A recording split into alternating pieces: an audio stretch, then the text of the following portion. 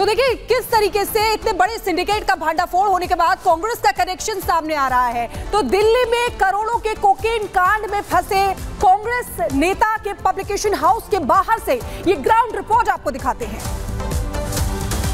Delhi police की special team ने एक बड़े इंटरनेशनल ड्रग सिंडिकेट का भंडाफोड़ किया है, जिसका मास्टरमाइंड तुषार गोयल है। ये कॉम्प्लेक्स इसलिए हम आपको दिखा रहे हैं क्योंकि इसी कॉम्प्लेक्स में तुषार गोयल का एक पब्लिकेशन चलता है, जो कि तुषार पब्लिकेशंस के नाम से, तुषार पब्लिशर्स के नाम से यहाँ पे रजिस्टर्ड है। जब हम अंदर गए थे, उस कॉम्प्लेक्स में गए, अंदर हम बात करने की कोशिश जब हमने की तो हालाँकि फ़िलहाल हमें उसके शॉप पर कोई भी नहीं मिला है। इसके साथ ही अगर हम बात करें अब तुषार गोयल के, पहले तो पॉलिटिकल कनेक्शन की बात करते हैं। तो काफ़ी ज़्यादा पॉलिटिकल कनेक्शन भी तुषार गोयल का निकल कर सामने आया है, क्योंकि 2022 में उसे दिल्ली प्रदेश कांग्रेस की तरफ़ से आरटीआई सेल का चेयरमैन भी बनाया गया था। ये 2022 की बात है। उसके बाद अगर हम जाँच के दायरे की बात करें, क्योंकि जिस तरह से पुलिस ने उसे गिरफ़्तार किया है और उसके बाद जाँच में जो चौंकाने वाले खुलासे हुए हैं, उसके डी कंपनी से कनेक्शन सामने आया है, दुबई कनेक्शन निकल करके सामने आया है और बात अब हम करें, चूँकि पाँच करोड़ रुपए का कोकिन बरामद हुआ था तो वो कोकिन जो है वो दिल्ली से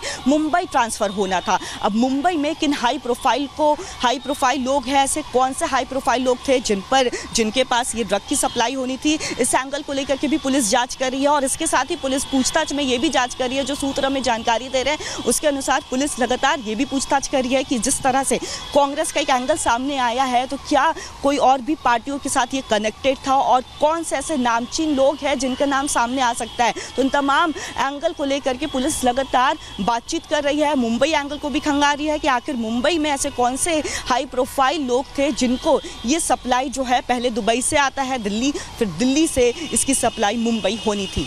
हालाँकि ये तमाम एंगल है, जिसे लेकर के पुलिस लगातार तुषार गोयल से और जो साथी उनके साथ पकड़ाए हैं, गिरफ़्तार किया गया है, उनसे पूछताछ कर रही है। विजय इरफान के साथ कोमल बहल रिपब्लिक भारत और चलिए अब बात करते हैं अगली खबर की, और अगली खबर उत्तर प्रदेश से आ रही है, जहाँ अपराधियों को कैसे सबक सिखाया जा रहा है। लगातार फुल ऑन एक्शन जो सरकार का है, वो जारी है। इसी कड़ी में मिर्जापुर और गाजियाबाद में जो मुठभेड़ हुई, उसमें तीन शातिर अपराधियों को गिरफ़्तार किया गया है। इनके कहाँ कहाँ कैसे कैसे कनेक्शन जुड़ते नज़र आ रहे हैं, इस रिपोर्ट में समझिए।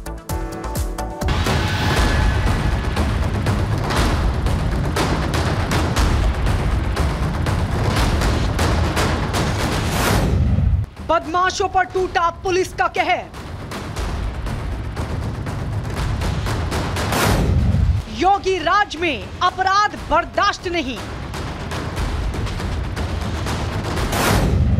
पुलिस का एक्शन, बदमाशों का इनकाउंटर मिर्जापुर और गाजियाबाद में बदमाशों पर पुलिस कहर बनकर टूटी है, जहाँ पुलिस ने मुठभेड़ के दौरान बदमाशों को गिरफ़्तार करने में कामयाबी हासिल की है। ये बदमाश लंबे अरसे से पुलिस के निशाने पर थे।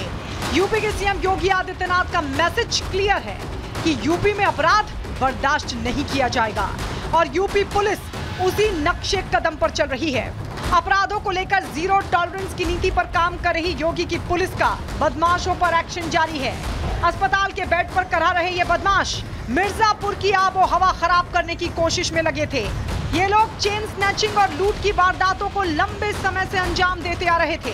और अब इनकी नज़र मिर्जापुर के प्रसिद्ध विध्यांचल मेले पर थी। ये लोग मेले की रेकी कर रहे थे, जिससे मेले में आने वाले लोगों को लूटा जा सके। इनमें से एक बदमाश पर पच्चीस हज़ार तो दूसरे बदमाश पर पंद्रह हज़ार का इनाम पहले से था, जिनकी तलाश पुलिस कर रही थी। इन लोगों के द्वारा पुलिस पे इन पे फायर किया गया जब पीछा कर रही थी पुलिस को, पुलिस ने आत्मरक्षात इन पे फायर किया। इनके के पैर पे गोली लगी और इनको जिला अस्पताल रेफर किया गया जहाँ इनकी स्थिति स्थिर है। ये दोनों अपराधियों ने यहाँ पर इस ज़िले में काफ़ी पूर्व में घटनाएँ की हैं। ये घटनाएँ सबसे पहले तो अभी यहाँ पे जो पूर्वत इनकी घटनाएँ वो फरवरी में ही इनके द्वारा एक चिल में एक घटना की गई थी, जिसमें एक महिला से बैग छीना था और एक लाख रुपए इन्होंने उससे छीने। गाजियाबाद के इंदिरापुरम में पुलिस ने नोएडा, दिल्ली और गाजियाबाद में लूट की घटना को अंजाम देने वाले बदमाश को मुठभेड़ के बाद गिरफ़्तार किया है। मुठभेड़ के दौरान एक बदमाश के पैर में गोली लगी। वहीं दूसरा बदमाश मौके से फरार हो गया। पुलिस ने शातिर बदमाश के पास से कई हथियार और लूट का सामान बरामद किया है। उन दोनों व्यक्तियों में से एक व्यक्ति ने इंदिरापुरम पुलिस पर जान से मारने की नियत से फायर झोंक दिया। आत्मरक्षा जवाबी फायरिंग में उन दोनों व्यक्तियों में से एक व्यक्ति के गोली लगी और वह वहीं पर गिर पड़ा और दूसरा व्यक्ति भागने में कामयाब हुआ। जब इसकी क्रिमिनल हिस्ट्री निकाली गई तो इसके ऊपर और इसके फरार साथी शाहनवाज के ऊपर इंदिरापुरम से लगभग आधा दर्जन लूट के मुकदमे निकले, लूट और चोरी के, और उसके साथ साथ दिल्ली के गाजीपुर थाने से भी लूट का मुकदमा निकला। इसको तत्काल घायल, बदमाश को तत्काल प्राथमिक उपचार देने के बाद अस्पताल रवाना किया गया। आगे की वैधानिक कार्रवाई की जा रही है। पुलिस के एक्शन का ही नतीजा है कि बदमाशों में खौफ है और सीएम योगी आदित्यनाथ का भी संदेश साफ़ है कि यूपी में अपराध करोगे तो बख्शे नहीं जाओगे। Bureau report, Republic Bharat.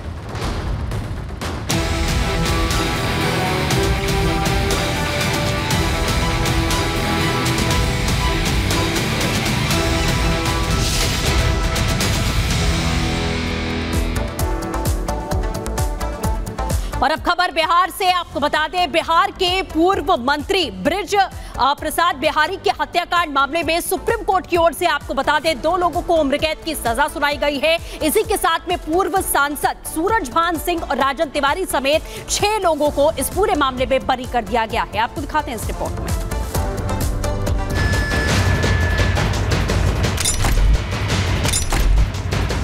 Bihar के पूर्व मंत्री ब्रज बिहारी प्रसाद की हत्या केस में सुप्रीम कोर्ट ने आज अपने फैसले में पूर्व विधायक मुन्ना शुक्ला और मंटू तिवारी को उम्र कैद की सजा सुनाई है। वहीं सूरज भान और राजन तिवारी समेत छह को बरी करने वाले पटना हाईकोर्ट के फैसले को बरकरार रखा है।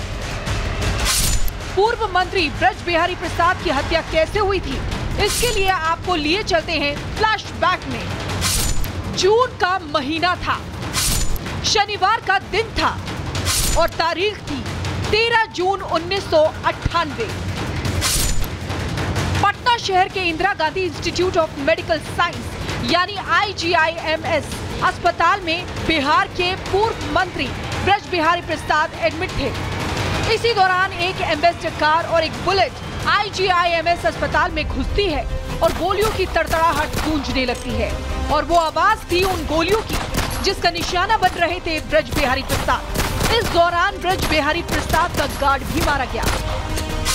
ब्रज बिहारी प्रसाद उन दिनों आरजेडी में आ गए थे और उन्होंने हाजीपुर से लेकर चंपारण तक आरजेडी को मज़बूत करने में अहम भूमिका निभाई थी। इंजीनियरिंग के छात्र होने की वजह से उन्हें मंत्रालय भी इसी से संबंधित दिया गया था। ब्रज बिहारी प्रसाद की हत्या में जिन पर आरोप दाखिल किए गए, उनमें सतीश पांडे, मुन्ना शुक्ला, मंटू तिवारी, ललन सिंह और सूरज भान सिंह भी शामिल थे। मगर बाद में कोर्ट ने सबको बरी कर दिया था।